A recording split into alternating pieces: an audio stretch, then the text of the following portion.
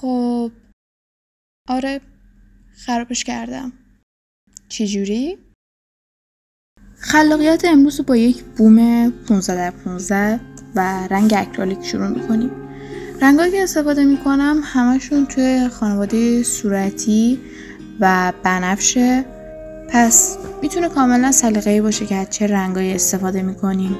و وسطش رو من میام یکم توناژ آبی کار می‌کنم. محو کردن اکرولیک خیلی راحته ولی نکته مهم اینه که وقتی که رنگ خیس و تازه است باید بیایم و اونو محو کنیم با استفاده از آب و یه قلموی نرم وسط نقاشیمون رو یه چسب می‌زنیم که خطمون تمیز در بیاد. این سبز می‌تونه هر سبزی باشه. فقط رنگی که دوست دارین درست کنین و قسمت بالایی چسبتون شروع کنین به رنگ کردن. اگه یه ابر داشته باشین خیلی قشنگتر می‌تونه ایجاد بافت کنین.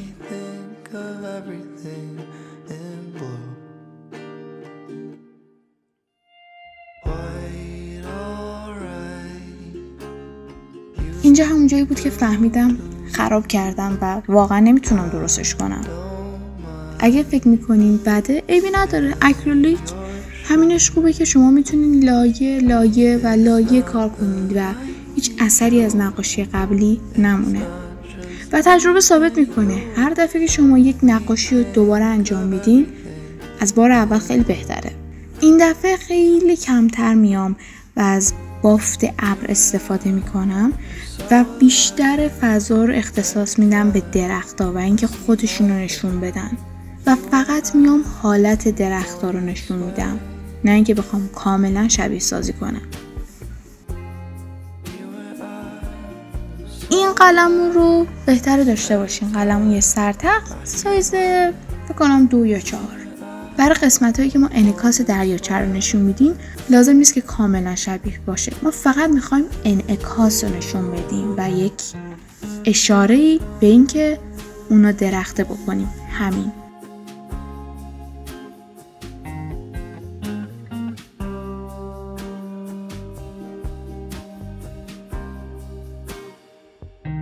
از یک رنگ چند درجه روشنتر از رنگ زیری. استفاده بکنین بهش عمق و یه جورایی جفسازی کردین و این خیلی کارتون رو قشنگتر می‌کنه. به طور مثال من اینجا اومدم از زرد و سبز زرد استفاده کردم. برای کشیدن تپ سنگا من اول رنگ تیرم و که می‌تونه یک خاکستری خیلی تیره باشه استفاده کردم. و بعد میام یه خاکستری روشن روش می‌زنم و همینطور لکه گذاری می‌کنم.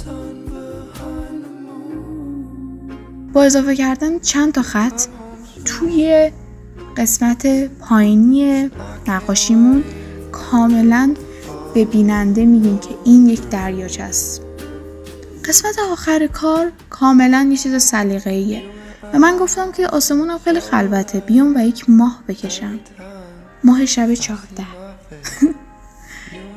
با استفاده از یک دونه شابلون کارم آسون تر کردم. ببخشین به خاطر اون لکه اون گوشه سرم جلوی دوربینه و بعدش با قلمون تمیزکاری می‌کنم. امیدوارم که از این نقاشی و از این سبک ویدیو خوشتون اومده باشه. like و subscribe یادتون نره. خلاق باشین روزتون بخیر.